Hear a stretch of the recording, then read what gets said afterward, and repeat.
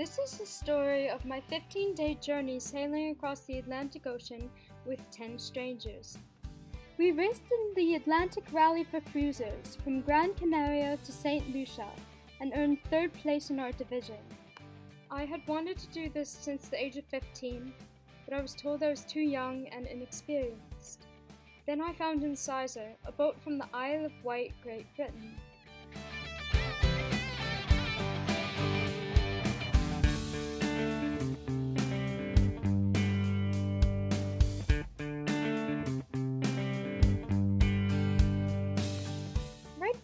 Racing started, the captain's wife gave us a visual demonstration on how men should pee off the boat. It's actually a valid safety concern, as a good portion of men who go overboard are found with their flies unzipped.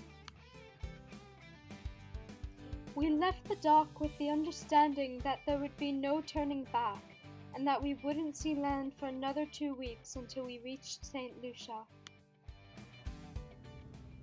Pictured here is the coast of Gran Canaria. The square boulders are intended as a first line of flood defense, breaking waves before they reach the city. This was also the last glimpse of land I got before the race. The starting line was packed with boats from all over the world. Most of the boats were from the UK and Northern Europe. This is the aft hatch, and this goes straight down to the navigation table and the two aft bunks. Here is our main hatch, and we've also got up here a forward hatch, which leads down to the toilet, uh, or the head, as we like to call it. And we don't like to keep that open because sometimes a wave will come in, and being rained on while sitting on the toilet is an unpleasant experience. Somebody tried to throw a dirty wet wipe out of the bathroom hatch, and now it is on the lifelines, and no one knows whose it is. Hygiene on the boat is difficult. All we have are wet wipes and basically hand sanitizer, and we don't have enough water for all of us to shower every day. So every once in a while we get to use the, the fresh water for a bird bath.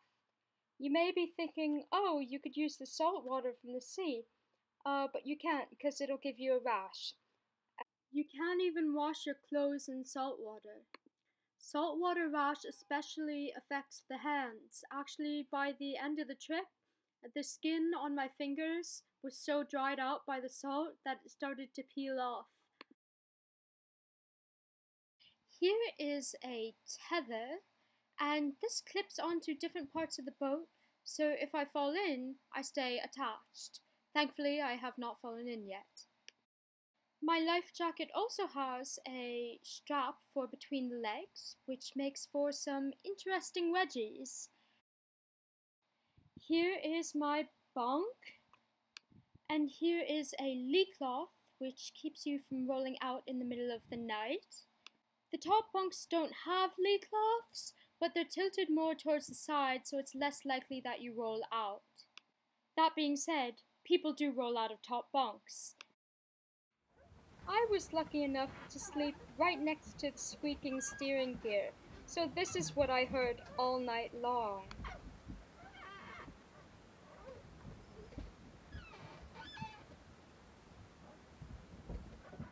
Back to the bed system, we each share our beds with someone else. You have to share your bed with someone for a different watch or shift, otherwise, you'd be in it at the same time. Under each bunk, we have uh, mostly food, but sometimes cleaning supplies. There can be no wasted space on a boat. And here are the steering cables that squeak incessantly. They've gotten a little bit better since we've lubricated them with the captain's suntan oil. It's better than it was on the first few days, but there's still some room for improvement.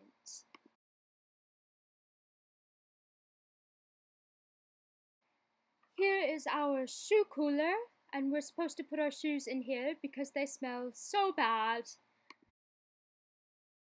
And there are 11 of us living in a 45 foot space. Oops, I have to put my shoes in there. Well, mine don't smell so bad. My crewmates may beg to differ. Needless to say, it smells really, really bad. Uh, you really want to stay upwind of everyone if you don't want to get a whiff of them. And uh, down below, there really is no escape. Here is the galley, which is basically a kitchen. Here is the stove here, or the cooker as we like to call it, and it swings so that it stays upright when the boat heels.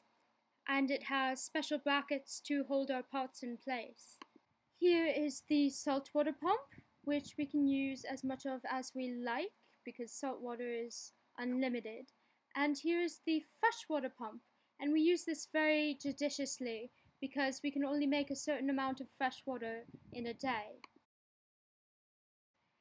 Here is our red light, which we turn on at night so it doesn't ruin your night vision. It's easier on the eyes than the white lights that are usually used during the day. Here are our tea mugs. We use these a lot. I'd say we make a cup for just about everyone on board every two hours or so, uh, during the day or night. Because, you know, British.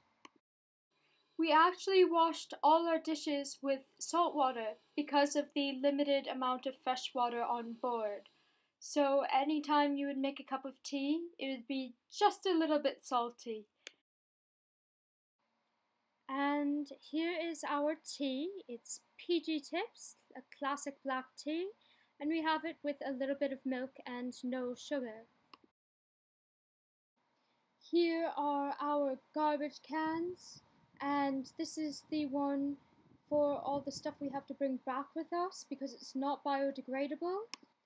And here is our biodegradable garbage, which should not include a Snickers wrapper. And we just huck all of this overboard when it starts to smell, or when the bucket gets full. Other than biodegradable trash, we also had to throw overboard anything that was a medical or safety concern.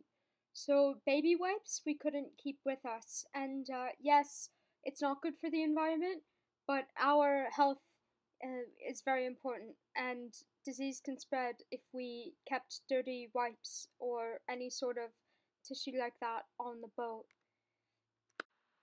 And here is our bathroom. The sink is broken, so we use Purell instead. The toilet works by manual pump, so you have to pump the black handle about 20 times to flush it fully with seawater. Even by the last day, someone on board had not yet figured out how to flush the toilet. So here's a sail that we ripped this morning. Um, that I ripped with, uh, by sailing by the leaf when I was on the helm this morning. And uh, we're trying to salvage whatever we can off of it. So the rope the line and uh, the, the sail is beyond repair.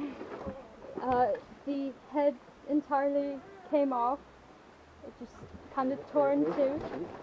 There it is. um, that's that's the head. It just tore off. Over the course of this trip, I learned to navigate by the stars the way sailors did before technology. I used a traditional angle measurement device called a sextant, as pictured here. The purpose of the sextant is to measure the height of a celestial body. So in this case, I am finding the distance between the sun and the horizon. And I do this by taking a measurement with the sextant and then using some tables and calculations, uh, just some simple algebra. Navigation now relies on advanced electronics. Now this is our chart table and this has all of the electronic navigational equipment. We are not allowed to have any food or drink here because that could compromise the electronic equipment. Here is our radio. It is set to channel 16 which is the emergency channel we can use the radio to contact other ships that we are nearby. And here is our satellite phone, which can communicate anywhere in the world, but we don't like to use it because it's very expensive. This is the ship's logbook, and it contains all the information that we would need to navigate manually if all the electronics shut down in an emergency. Here's our chart plotter, and right here is Gran Canaria, which is an island off the coast of Morocco, but it's owned by Spain.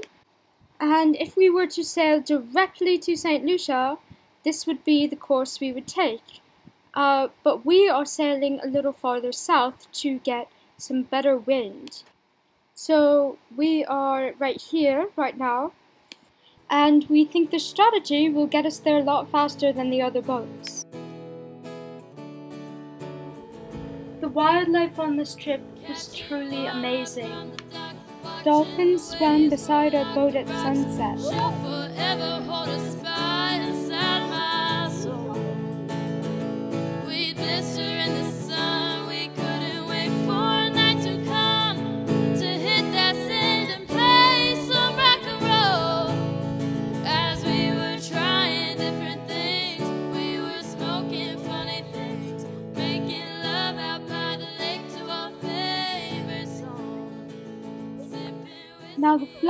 Fish are a completely different story. These uninvited guests flop their way onto the boat in the middle of the night. They have an extraordinarily pungent fish smell, and I even saw one of my crewmates get hit in the face by one. It's Friday, December 11th, and uh, we've had an interesting couple of days. Uh, yesterday, uh, in the night, we had some sail tears in our mainsail and actually to fix it we used the sail that I tore or that was torn earlier this week. So kind of like everything happens for a reason. Uh, and then last night we had another tear uh, up here. You can see. It's pretty big but we're not too worried about it because we've got a lot of wind anyway. So we're going just as fast and it's alright. Um, right now we're doing some water making. Every day we fill up our plastic bottles down here. Water bottles by turning on the engine and running the water maker. You can see it just like dribbling in. And we do this uh, so we have fresh water for drinking and for little bird baths and for washing our clothes. Uh, washing is a loose term. You're not, you're not, using fresh water for washing our clothes, No. No, well. I haven't been washing my clothes. Oh, you dirty girl. And uh, sometimes, when the water tastes bad, we put in this stuff called squash, and kind of like juice and it makes it taste better. Escaping the heat. It's hot down below and it's really hot on deck. It's really sunny and there's no air conditioning, no ice. No By about four days into the trip, no one was wearing clothes on deck anymore. The weather was getting warmer as we moved south and closer to the equator. Bikinis and underwear became the norm. So I actually didn't do any laundry for the entirety of the trip. I just threw my dirty underwear in the ocean because I didn't want to bring that home as a souvenir. So if anyone finds purple Fruit of the Loom underpants at the beach in the British Virgin Islands, they're mine and I don't want them back. By this point in the trip, we were all really settling into our life at sea. We had really come together as a crew and gotten used to our new routine. Here you can see some seaweed floating by, and we've been seeing that for the past few days, and it's a signal that we're getting close to land. Right now, uh, we are about 300 something nautical miles from St. Lucia. Everything's going pretty smoothly.